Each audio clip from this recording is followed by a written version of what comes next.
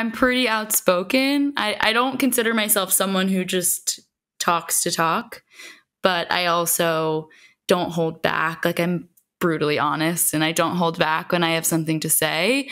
Um, so I think I'm pretty good at like putting the filter on and knowing like the timing, but there are just the times where you're you're feeling so amped up about something that like you just can't help yourself in the moment. It's almost like in those times you like you black out, right? Like you get on stage and you perform and you black out because the adrenaline and it's just like I couldn't help myself. I, I couldn't help but say it.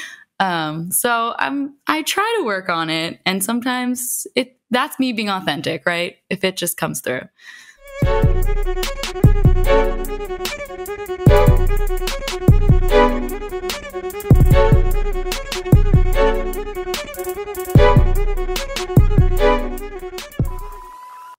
Sydney, welcome to the show. Thanks for you? having me. What up? I'm doing we're well. How are excited you? to have you. You know, thanks for asking. Yeah. But how Yeah, are you that's really? Refreshing. Really tired. It's been a weird been- morning. It's been a hard Yeah. week, but I'm happy to be here. That's how Yeah, I am. I'm happy to be here too.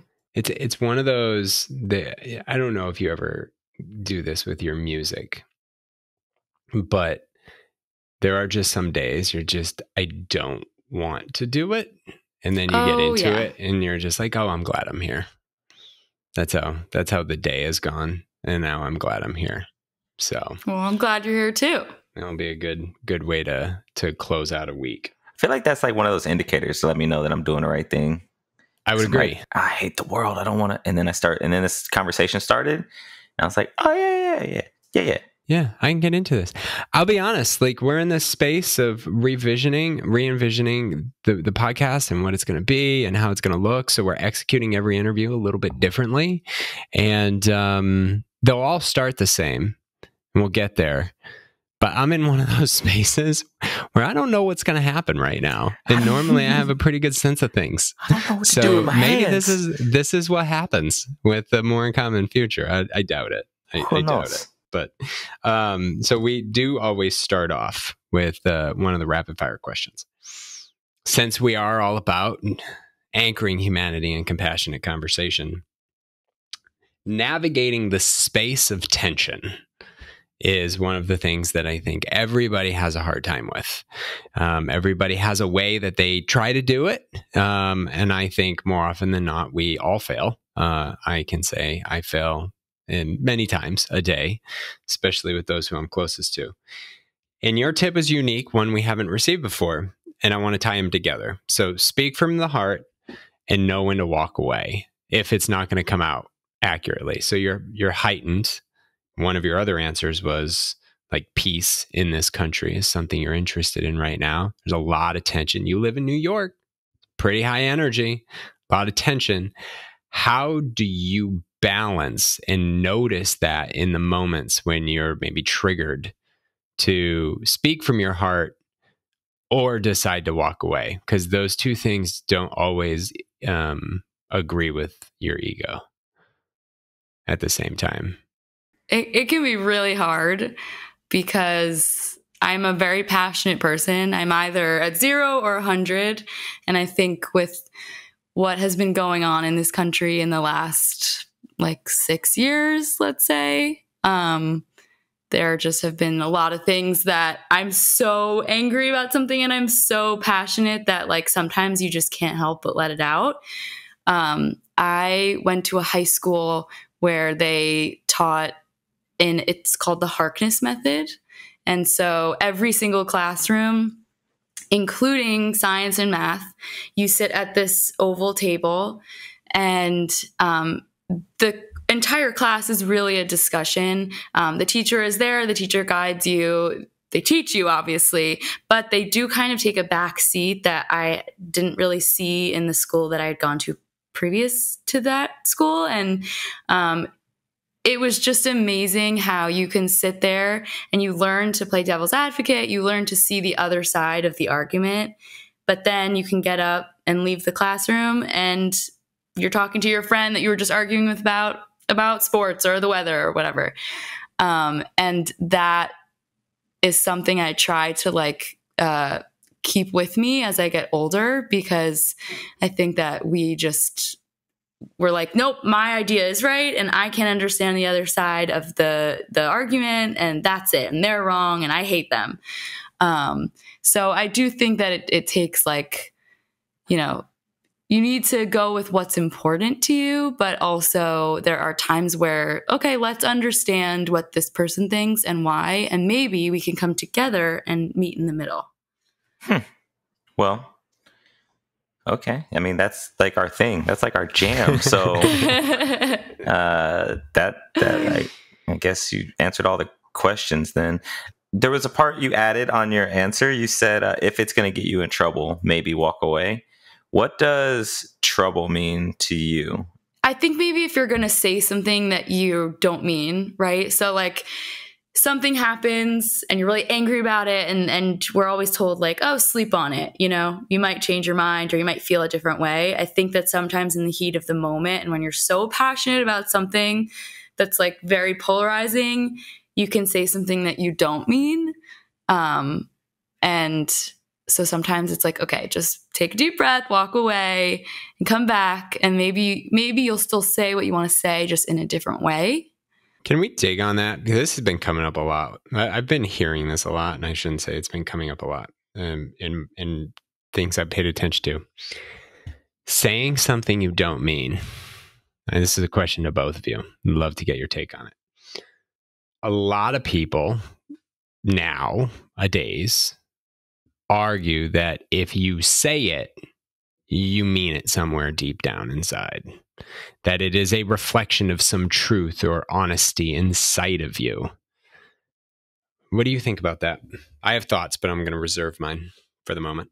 I think that you can jumble your words, you know? Um, and I think that sometimes we're very quick to say something, say what we mean, and then we realize that we we just meant to say it in a different way because we were thinking too fast. So I don't think that it, you know, it's kind of like uh, drunk words or sober thoughts. I don't think it's, I don't think it's like that. Yeah, I think it's one of those like sometimes. I don't, I don't think it's in in uh, like a always on or always off thing. I think it can be the case. So I heard somebody just uh, I don't know two days ago say like the the way they decide if they're going to say something is like if I repeated this 99 times, would I still say the same thing? And I think um, when I'm pissed, I will say things to sometimes purposefully hurt people. And when I'm not pissed and like I'm just having regular conversation, I will say things that sometimes hurt people. Like it, it's not, it's not like, um, and they may or may not be things that I meant to do or meant to say um, I think it's possible to say something that is not well vetted by my brain. So I just said it and like and if I thought about it for 30 minutes later, I'd be like, yeah, no, I, I don't actually believe any of that. I don't, why the hell did I just say that? Like, I, have had that happen many a times. I've had it happen in podcast conversations where I go back. I'm like, why, why, where did that come from? um, I don't know. So I think it's possible to say things that I don't mean. I think my goal is to live in a space where I say what I mean 100% of the time. I don't know if it's possible because the way the subconscious works, but uh, Keith, what about you? Um, I think something that came up in the way you said that is what does meaning mean, right? Like, what does it mean to say what you mean? Did I mean to say it? That means the words just came out of my mouth and I didn't actually intend to say the words that came out of my mouth. Or did I actually mean the words that came out of my mouth? And I think the argument that a lot of people I would I would say the argument that's culturally acceptable is that what you say is something that you in not intend to say but mean it. So you might not have meant to say it, but you mean it. And I disagree. Um, I think certainly there can be some underlying Wait, real quick. sentiments. So let's parse that for a second. You say like when somebody says you you said it, so you mean it. as in it's a well formed thought somewhere in your it's brain. a meaningful intend like this is how I feel sentiment versus the these words just came out of my mouth and I really didn't mean to say them. Right? Like some you know, my wife is a great example of a a, a vocal thinker, right? If it's in her if it's in her mind, it's in her mouth. And sometimes she just might not mean to vocalize it. Um, but it just happens. and so, you know, but then again, you know, I we all have thoughts. Things pop into our head. And if we're angry, um, and we're in this myopic viewpoint of the world in the moment because we're triggered, like, and a thought pops into your head and you say it, it doesn't mean like I think you put it very well, Rodney. I didn't vet it. Like I haven't explored how I feel about it in my body and am I emotional about it. It's just these words just came to my mind and I said them. Um, and that's what I love about Sydney. Your your a lot of people. uh, It's hard to walk away, and when we're in that moment, we're just let's walk away, take a breath, and let's make sure. Like it's it's almost like it's accepting a storm off. If someone storms off, we should be more accepting of it. Like good, like this is good. you know what Yeah. I mean? Because Take a moment. yeah, go take a moment. Go It's go healthy. Yeah. storm off. Go be mad at me for a while. Stew right like it. maybe Yeah. the words that come out of my mouth you take it i mean it one way but because of the words i used or how i said it you took it a different way and it's maybe not what i thought i meant but it just It's not what. I meant. It's what you heard. So now let's let's bridge that gap and let's spend some time doing it. Yeah. Conversation. I mean, human dynamic is tough. We make a lot of assumptions and we do a lot of mean things to each other. I'll add one more wrinkle because I asked about trouble because, like, in the world in my past where I always wanted to be right, there were a lot of times where I would say things because because I was like I'm right, and it would get me in trouble. And then as I started to figure that out, it's like, oh, okay, well, like just because I might be right in this situation doesn't mean that I actually need to share it because it might make that person feel like shit uh, especially the way I say it. But like in general, like it just may not need to be said at all. And so I, I like how you said, like, if it's gonna get you in trouble, like maybe just walk away. Like you can just hold on to that little nugget of truth and just go about your day, dude. Now, how successful have you been at maintaining that now that you're in the real world and not in a controlled setting setting of the Harkness method?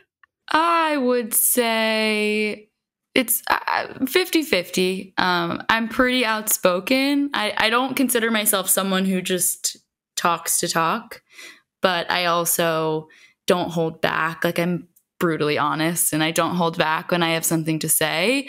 Um, so I think I'm pretty good at like putting the filter on and knowing like the timing, but there are just the times where you're you're feeling so amped up about something that like you just can't help yourself in the moment. It's almost like in those times you like you black out, right? Like you get on stage and you perform and you black out cuz the adrenaline and it's just like I couldn't help myself. I I couldn't help but say it.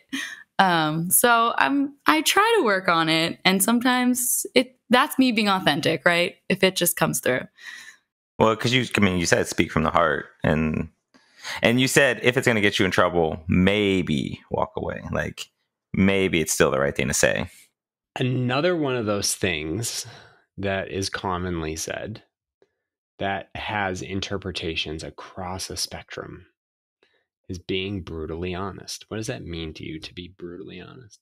I think it just it means you you say what you think and sometimes you don't sugarcoat it.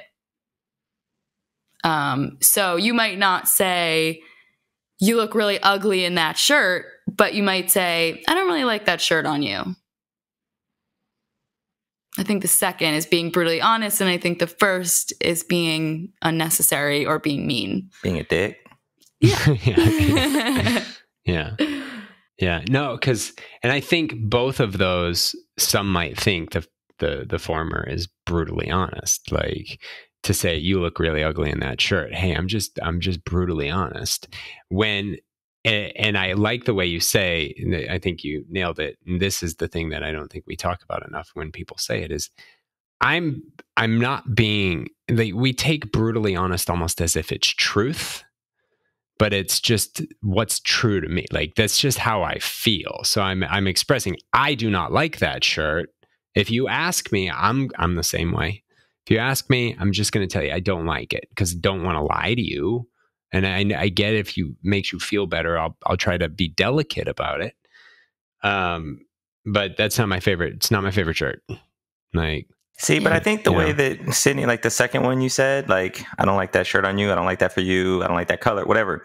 Like, or I don't like it, Keith. I think that's a statement of a f- fact. I'm air quoting fact, like for for your. It's my fact. For your right. yes, it's air, yeah. it's sharing a fact versus, um, you look ugly in that shirt. That's adding adjectives and and adding like a negative, like adding a judgment to it that isn't necessary. So then that, that, I think that takes it from just being sharing your truth or being honest or brutally honest, if we want to use that word, to being just a dick. Because like you don't need that. Actually, it doesn't add anything to it. Yeah, and that's not necessarily true. But a lot of people will say, "I'm brutally honest," and what I say is thus true.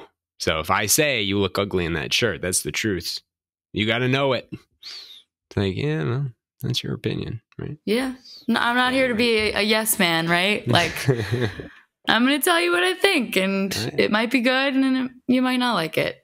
Hey, but you're born and raised in New York. It's it's part of the culture that in my blood too. Yeah. so, thank you for indulging the conversation. We'll move on from talking about conversation tips, unless there's anything else either of you have to say. I think we nailed it. Yeah, that was good. Yeah, I'm curious in this Harkness method, but I'm gonna look it up later. That's cool. Sounds, yeah. Oh, it's. I always say, you know, it it was amazing first of all, but I think if the whole world teach taught Harkness method, we'd be like a teeny bit more peaceful of a world. You know, you you, also like you learn to think about everything just in a more in depth way. Um, and i i when i went to college i found it was just such a like difference in sitting in the classroom because you really do start to think differently. Even in conversations with your friends and all that it's um it's amazing. So i recommend you look it up it's very much it, reminds me a lot of a conversation we had with um uh, joanna when she's an attorney and she's like like facts are facts like we all have facts, but an attorney's job is to convince you of their interpretation of those facts and what the conclusion is and what it means. And and that's just the case with everybody. Like we argue these things like we're arguing truth. It's like, well, those are the facts and that's how you interpret them. I get it like masks. There are a lot of facts about masks on both ends of the spectrum that you could parse through all day long. And I choose to say, okay, well, I look at these facts and this is the conclusion I draw. You look at these facts and that's the conclusion you draw. Are you wrong? Like, are you a bad person for it? Like, we're arguing the wrong thing. And we, to your point about everybody learning the Harkness method, it's like the, it teaches you to have a conversation and not just sit here and debate whose facts are more right than the other. Exactly. Yeah. So mm. I love it. um, as a transition, you you brought up peace and Harkness. Kind of, it, it would the world be a more peaceful place. It was an answer you gave earlier. You're it's something you're interested in right now. Yeah, and thinking about what does what does peace mean to you? I think peace is uh, it's getting along, Peace is being able to not all believe the same, you know, the same thing. Um, and be okay with that. Uh, God, it's so deep. Um, so we yeah. do here the more common. um, yeah, I think just being able to believe in in other you know, I might not believe in what you believe in, but we can just we can come together. It's not something that tears us apart. Um, it's just it just is what it is. Um, and I think peace is just less fighting. There's so much fighting going on, and it's exhausting. So I've been thinking about this for about a week um, because of a conversation that we moderated. There are a, there are I mean there's a fair amount of people. I'm not going to say it's a gross majority or anything like that, but you know a million people is a lot of people even if it's less than 1% of our population. A lot of people who hate other people. Right? I mean, you got hate groups and all that stuff. Like where is the line for both of you in finding space to accept other people's opinions. But I think it the line is when it comes to people's well-beings. Like we don't why are we killing people who are Jewish? Or trying to, you know, harm them. Or people who are Muslim, um, people who are any any person of color. Like that's i think when you're you're moving past uh or i guess you're making your belief you're taking action um i mean to me those types of beliefs are wrong i'm just going to come out and say it but um a belief is a belief um but that's kind of where the line is for me mm. what about you rod well, I think I take this on like two different axes. Like uh, from from just an opinion standpoint, I can accept anybody's opinion because it has nothing to do with me. Um, it's just it's just it's just it is. Um, then from a like what how I feel socially, like what's good for my neighborhood or my my children at school or work or what law should be passed, this, that, and the other. I think it comes down to, I, I would agree with you, Sydney. I think it's about who's harmed. Um, and when we step into harming others, especially intentionally or even not intentionally, like step into harming others, that's where I would start drawing lines. And then it gets real complex real fast when it's like, well, it's harming this group and this group, but it's harming them less and it's doing more good than bad. And it's like, okay, well, how do we consider that? But I think on the most basic level, those are the two ways I look at it. I, have been thinking a lot about it in the frame of the work that we do, helping people create space for differing points of view. And one of the most common things that I hear, and this is mostly from people on the left, because if you're on the left side of the spectrum versus people on the right side of the spectrum who probably spend more time with uh, just hear me, um, just listen to me, and I don't care about you. Um, but on the left, you hear a lot of that. Well, if you have a Trump sign attitude, right, you're a bad person, and and and it's like okay, so dig into that, and that line is so far before violence or infringing on another person. Now, the argument can be made well, by supporting someone who does want to create rules or laws that infringe upon me, therefore you are harming me. But that person may not see it that way. And then you're missing an opportunity to make that connection. Um, because I too, I, I'm I'm happy to have a conversation with anybody who has an opinion about anything. And as soon as you say, I think black people should be um, put in the fields, then we don't we don't really have I don't accept your opinion anymore. I don't accept that, but I we can we can really dig into the psychology of the trauma that you've experienced that makes you actually hate that many people. And then we can get on the couch and talk about it. But um yeah, it's a it's interesting to think about in today's society where we are so divided.